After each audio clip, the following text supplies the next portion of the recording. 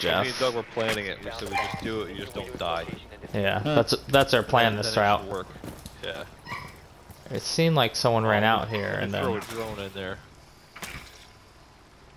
Uh, two of them are in here. And yeah, Whammy's there too again. Maestro's in there, and Hatch has been blown. Out. Hatch has been halfway blown out. Yeah, Whammy's behind that shield.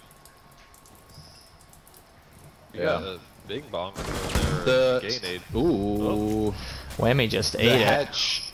So don't go in there yet, because someone is on that hatch that's in there though. They were shooting it out while I was on my drone.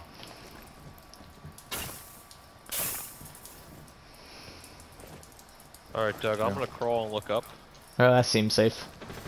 Oh wow. Yep, someone's on the stairs, and someone's at the door into objective. There's doing smoke signals. There's blue hatch.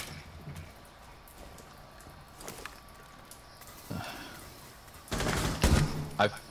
Ooh. That's two people I one tapped over that. I, you know, I definitely feel like they're expecting us, but. Yeah, but we've killed three of them that were watching us. Oh wow! Oh wow!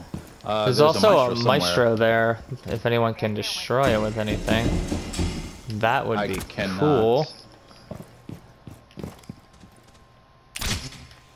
He's just gonna spot us, but I can't. I can't deploy.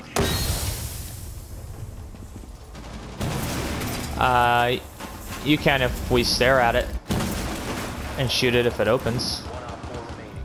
Or we could just rush and try and kill that guy. There we go. Let's go. The last one is Maestro. Ooh, I almost shot you in the back, Jeff. It's all good.